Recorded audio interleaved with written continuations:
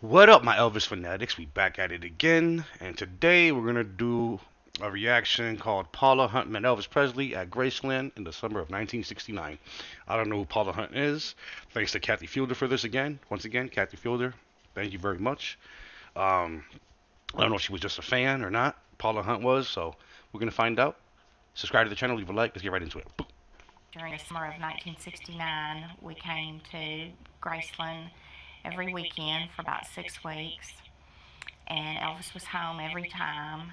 And we would see him riding his golf cart and horses on the grounds. And See, I know you love horses. we would see Priscilla and Lisa Marie in the golf cart with him. Awesome. Harold Loyd, who was Elvis's cousin, was one of the guards. And he had gotten to know us. So every time we would walk up, Harold would open the gates and let us in. That's Harold awesome. had told us that Elvis was had been coming down to the gates about nine o'clock every night and signing autographs and uh, talking to the fans.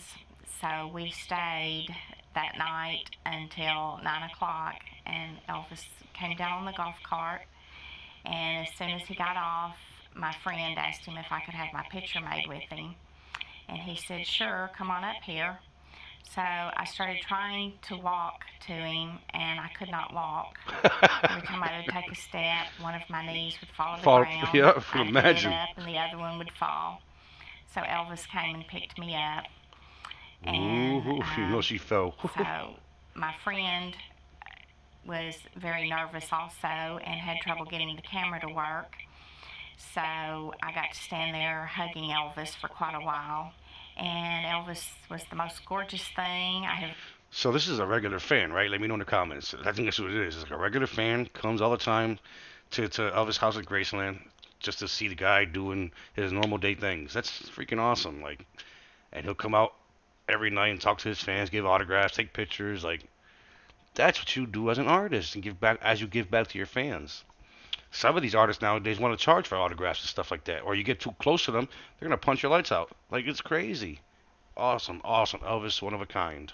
I've ever seen, and he was actually better looking in person than in pictures. I know that's very hard to believe. I mean, he still he looked good in pictures, He so I imagine he must have looked. Just totally perfect. He did not have a flaw or a blemish, and uh, he was just so gorgeous and so nice and very kind. And after I had my picture made, he turned to walk away, and I remembered that I had a 1969 penny in my hand that I had wanted him to touch so that I could put on my charm bracelet.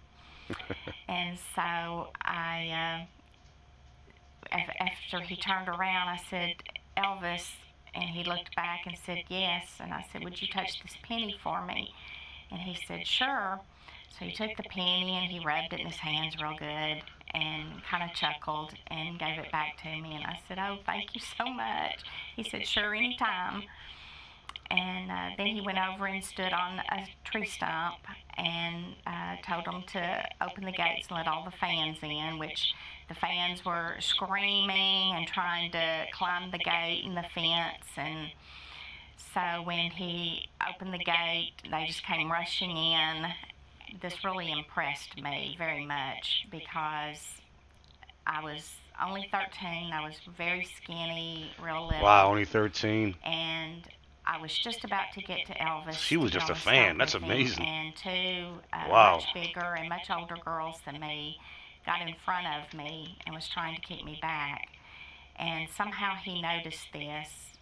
Uh, he was busy signing autographs and talking to people, but he noticed and he reached in between them and got my hand and pulled me up on the stump with him.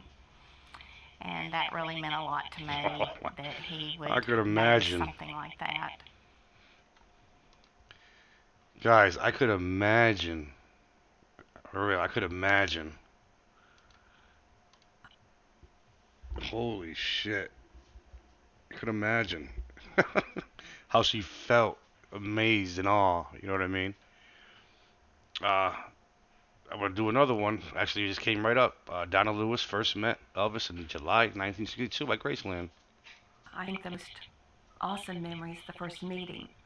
And we had actually lived in Cincinnati, Ohio. And uh, we wanted to see Graceland. uh, we didn't know Elvis was home, but we were fans. And this was in 1962. So we drove down from Cincinnati and we went to the gate and met Elvis's Uncle Travis. Uncle Travis and us, we, you know, we spent a few hours together kibitzing and talking about Elvis. And he knew we were from out of town. So he said, Would you like to see what Memphis looks like? And he took us by Chenault's and the Benucci's and the Loew's where Elvis had hung Say hi to everybody. So after a few hours, it was getting very, very late. And this was about midnight, and we were in Travis's pink Cadillac convertible, which was a dream come true anyhow, you know. We pulled up at the fairgrounds, and uh, it was pitch black, and all of a sudden, all the lights started to come on in the fairgrounds, and a limousine pulls right up in front of the pink Cadillac. And Travis looks at us and gives us this sheepish little grin, like Elvis has got. And the limousine door opens, and Elvis steps out with Anita Wood. And this was a hot summer night in July, 1962. And uh, Elvis had on a hot pink shirt and a little boat cap, and he had some gloves on. And Uncle Travis introduced us to Elvis. And we got our pictures taken, and he kissed my sister and myself, and he shook my mother's hand. So for the next I want to see pictures though. They say they got their pictures taken, but I'm sure you can develop pictures back in those days. So, where are the pictures? I want to see them. So three or four hours we spent riding the Pippin, which was his favorite ride. You know, the old roller coaster. Um, he was on the Dodging cars. And Elvis himself operated a ro- ride called the Rocket. But Elvis didn't ride the Rocket because it went so fast.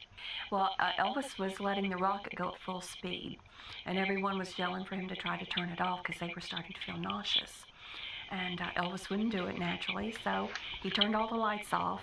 He started to walk down, and he knew people were starting to feel a little upset, you know. So he filled a glass of water. And so they would think someone in front of them in the front car was getting sick. He started throwing a glass of water on people. I'm typing to you, And Kathy you hear him Fielder. and screaming and yelling. He was just laughing his head off. He was having a good time. We spent four nights here in Memphis, and we went to the crosstown and the fairgrounds and the Memphian with Elvis.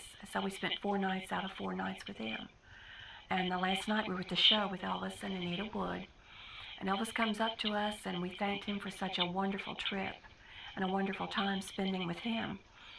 And he said the strangest thing to us. He said, I know you're going back home tomorrow. He said, but don't forget me.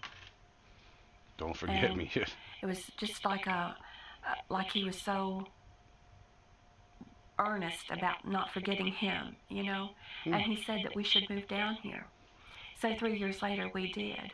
And for the next 15 years, we went to the fairgrounds and uh, the movies, the wedding reception, New Year's Eve parties, and then Daddy even went to work for Elvis at the Circle G Ranch. And you've heard a lot about the, the grill down there. My daddy built that for Elvis as a wedding present in 1967. Hmm. You know? But I think the most important thing to remember for anyone that he touched everybody's life somehow. But I know he changed our lives. And when you were with Elvis, it was like you were in a, a Camelot or a bubble all your own, and nothing bad could ever happen.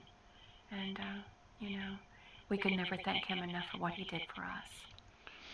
Yo, Elvis is just a, such a genuine person, man. Like he's really for the people, man. He wasn't all about himself. You know how celebrities hide, you know, in their houses or they got an entourage. You know what I mean? Like he's he was open to everybody, yo. You know what I mean? Kathy, I appreciate you. I threw an extra video in here. Uh, I didn't even know it came out. It came out after the other video, so I just left it playing. Donna Lewis first met Elvis in July 1962 at Graceland. Subscribe to the channel, leave a like, do what you gotta do. I appreciate every single one of you for the support. Until next time, peace.